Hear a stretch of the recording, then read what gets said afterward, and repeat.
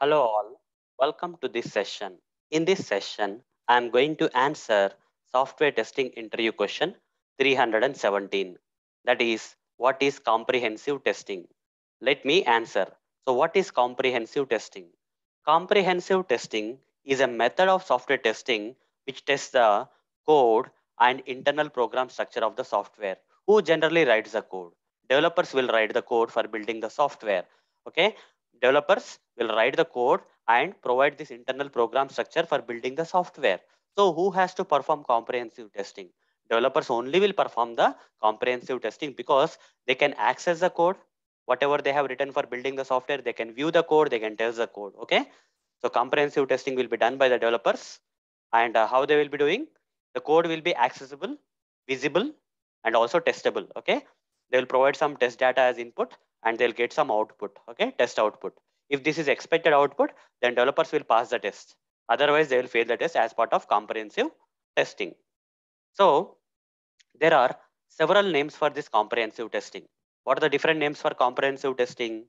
White box testing, glass box testing, open box testing, code-based testing, transparent box testing, clear box testing, and structural testing. All are these different names for the comprehensive testing can also be called as these names. Okay.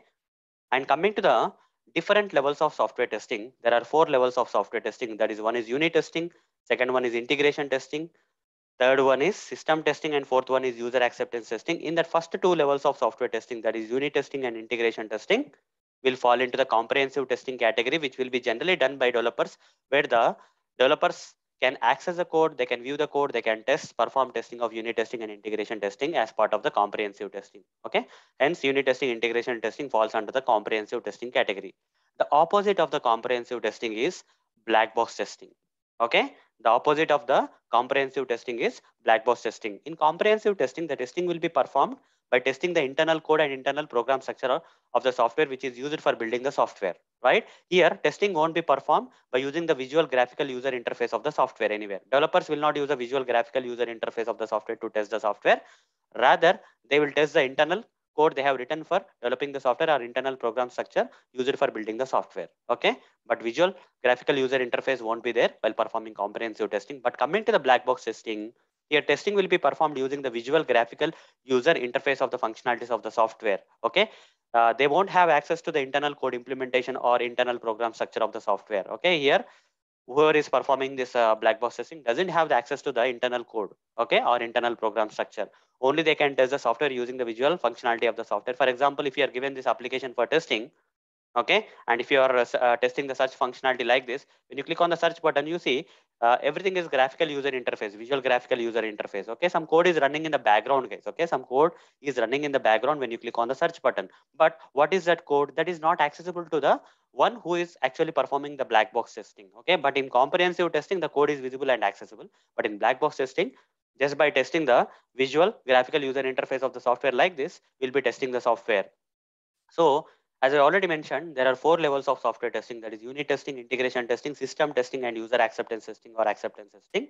The remaining two levels will fall into the black box testing that is system testing and acceptance testing will fall into the black box testing category where testing will be done using the visual functionality of the software. Okay, and uh, there will not be any access to the internal code implementation of the software. Okay, where developers have written the code, that code will not be accessible to the one who is performing the black box testing.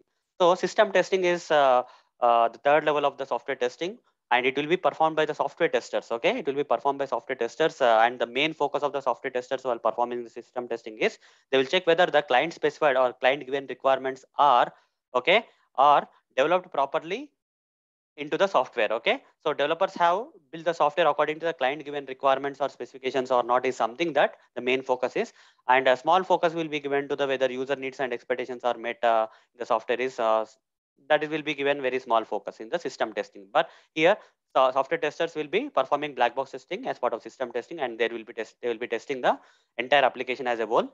Okay, in terms of client requirements, main focus. Okay, user needs and expectation, less focus. But coming to the acceptance testing, here user needs and expectations comes into the major focus. Okay, uh, apart uh, client requirements and specifications will also be checked, but uh, but the main focus will be given to the whether user needs and expectations are met or not is the main purpose So here acceptance testing can be broken down into two parts. One is alpha testing, second one is beta testing. Alpha testing will be done by the client side business people who has some knowledge of uh, user needs and expectations.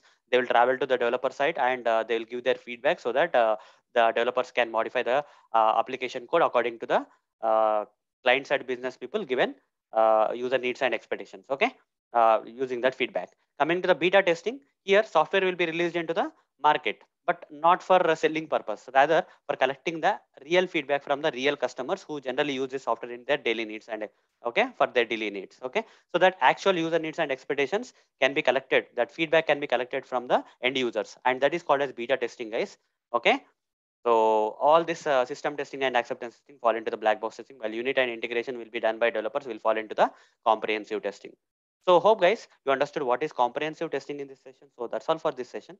In the next session, I'm going to answer another software testing interview question for you. Till then, see you. Bye-bye.